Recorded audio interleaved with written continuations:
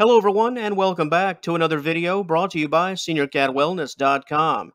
If you enjoyed today's presentation and find it informative, please feel free to subscribe to this channel, like the video, and share the content.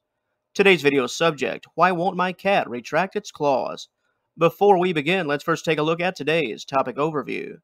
You can teach your cat to retract its claws through play. When approached with claws unsheathed, make a high-pitched yelping sound and stop the game immediately. This mimics the noise made by another cat, teaching it the claws hurt. This training will only work if your cat is willfully unsheathing its claws. Before we tackle today's topic, let's first talk about the primary reasons why cats choose to expose their claws. First up, we have protection. Along with teeth, claws are the main source of self defense for cats, and many times this form of protection arises out of fear. If your cat stays claws out for most of the day and night, this could be a sign that your pet feels insecure. Next, we have hunting. When cats are on the prowl, they'll expose their claws in order to attack prey. While a bite to the neck is the go to attack method, the claws are very much key. Claws are also used to tear flesh from the bone. Next, we have marking. Cats love to scratch, well, pretty much everything. Very much an instinctive behavior. Scratching can be used as a way for your pet to stake its claim. This behavior can be somewhat controlled with the introduction of a scratching post. This is especially helpful if your furniture has become your cat's new favorite toy.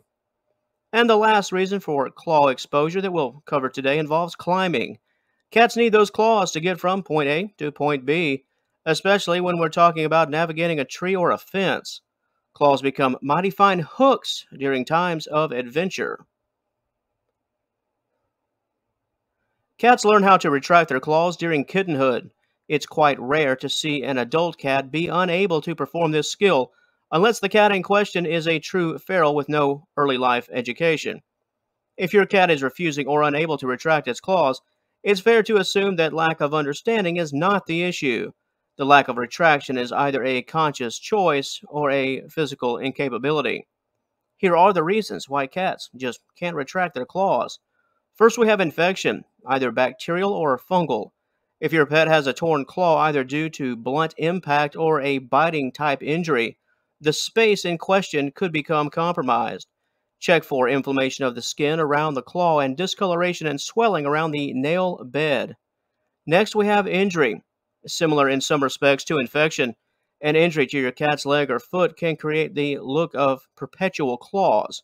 Injuries to muscles and tendons in the region can cause a cat to be unable to retract. And the final reason of our trio involves old age. If you have a senior cat, your pet could have lost the ability to properly retract due to an overall loss of flexibility. Aging joints and muscles can make the most basic movements very difficult. Retracting, or at least the very attempt, can be quite painful, thus causing your cat to just avoid the motion entirely. Before any type of training can take place, the primary cause has to be identified. Quite obviously, training won't be needed if a medical reason is responsible. However, if your cat is healthy and simply in a state of refusal, a certain amount of training could solve the problem. Although, you should be prepared for a rather lengthy process, especially if the core issue is psychological. We offer the following training tips. They can be used during a standard play session. Step number one Play with your cat. Number two, allow your cat to approach with claws unsheathed. Number three, when the claws come close to you, make that high pitched yelp.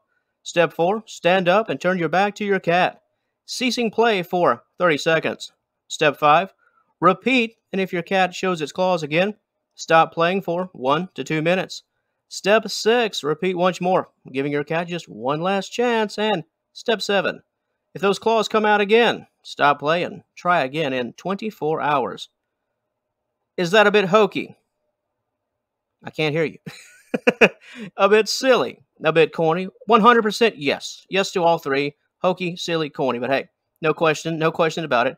However, sometimes it does take a bit of cringe, just sort of like what I just did, in order to get the job done. And of course, this isn't a my way or the highway method. There are a million tricks under the sun. The core objective here is to send a message to your cat without being physically manipulative in the most direct sense. Your cat needs to learn, but the teaching shouldn't be a scare tactic. Contact your vet if you have any questions at all. I'm sure they'll be more than happy to offer up several potential solutions. And speaking of a vet, this section is just, well, just, just asking for one. While you can take matters into your own hands when it comes to trimming, please be mindful of the actual undertaking at hand. If you're concerned that you'll encounter an issue, please have your cat's claws trimmed by a professional, either at the vet or any pet friendly establishment. Most chain pet supply stores have grooming centers for this very thing. Having said that, if you decide to conduct the trim, please follow these steps. Step 1 Purchase a pair of nail clippers as keratin is way too tough for scissors. Step 2 Familiarize your cat with the sound of the clippers before starting. Step 3 Calm your cat and massage the paw so it's used to being handled. Step 4 Locate the quick of your cat's nail which is where the blood vessel meets the keratin. Step 5. Cut above the quick. If you cut too deep, the cat will bleed. And step 6. Clip that nail. We advise you to have another person on hand in order to comfort and secure the cat. Once you go in with the clippers and start the process, there isn't much room for turning back. Keep your pet still as possible. That is the ultimate objective. And I can't stress this enough. If you think this job is just too grand and too risky for you, don't even try it. There's certainly no shame in passing it along to a pro. Your cat's safety should always come first. If you would like more information concerning today's subject matter, please click the initial link in the description box below and join us at seniorcatwellness.com. And once again, feel free to like and share this video and subscribe to the channel if this type of content is of interest to you. Thanks for watching, and we'll talk to you later.